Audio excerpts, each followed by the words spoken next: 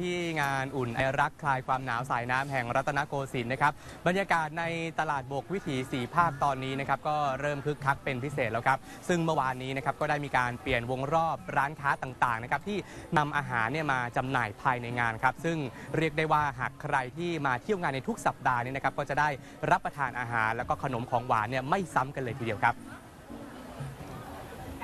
บรรยากาศในตลาดบกวิถีสีภาคช่วงเที่ยงแบบนี้นะครับก็คึกคักเป็นพิเศษครับมีอาหารแล้วก็ขนมหลายอย่างมาก ๆ ที่นำมาให้ได้เลือกรับประทานกัน อย่างเช่นข้าวหลามป้าเพนนะครับจากอำเภอปัวจังหวัดน่าน มีให้เลือกหลายไส้เลยนะครับอย่างเช่นถั่วเผือกแล้วก็งาขี้ม่อน ซึ่งเป็นงาของเป็นธัญพืชของทางภาคเหนือนะครับ เป็นสินค้าที่รู้จักกันอย่างแพร่หลายด้วยครับ เพราะว่ามีการจำหน่ายผ่านโซเชียลมีเดียอย่าง Facebook ในชื่อข้าวหลามป้าเพน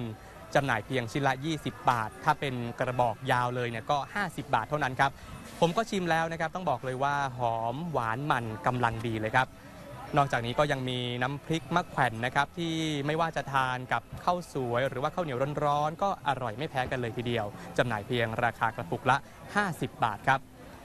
ถัดมานะครับมีขนมเกสรลำเจียกนะครับจากอำเภอวิเศษชัยชาญจังหวัดอ่างทอง ซึ่งเป็นขนมโบราณนะครับที่สันนิษฐานว่าทำสืบทอดต่อๆกันมาตั้งแต่สมัยกรุงศรีอยุธยา และต่อมามีหลักฐานยืนยันนะครับว่าเป็นขนมชาววังขนมโบราณ ซึ่งปรากฏในพระราชนิพนธ์เรื่องกาบเหชมเครื่องคาวหวาน ในพระบาทสมเด็จพระพุทธเลิศล่านภาลัยรัชกาลที่ 2 ก็จำหน่ายกันเพียงราคาชุดละ 35 บาทเท่านั้นครับ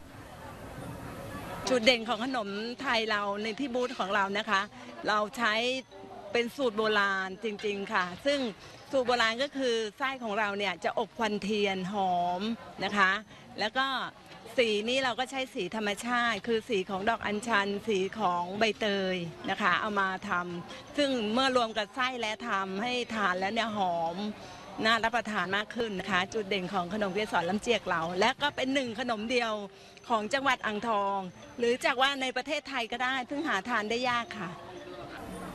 ส่วนใครนะครับที่อยากจะทานหนักกว่านี้ก็มีมาให้เหมือนกันครับ กับไก่ย่างเขาสวนกวาง แล้วก็ข้าวเหนียวส้มตำ ใครอยากรับประทานก็ไม่ต้องไปถึงขอนแก่นก็ได้นะครับ เพราะว่าวันนี้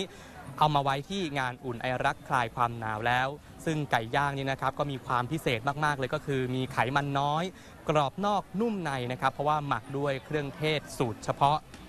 ปิดท้ายกันที่จังหวัดยะลานะครับกับข้าวยำเบญจรงหลากหลายสีสันครับซึ่งเป็นสีสันจากธรรมชาติของขึ้นชื่อของจังหวัดยะลานะครับที่มีสมุนไพรเป็นวัตถุดิบจำนวนหลายชนิด น้ำบูดูนี่ก็เป็นสูตรพิเศษนะครับทานกับข้าวยำบวกกับไข่ต้มสักลูกหนึ่งเนี่ยรับรองว่าอร่อยจนไม่อยากแบ่งใครเลยครับจำหน่ายเพียงชุดละ 40 บาทเท่านั้นครับ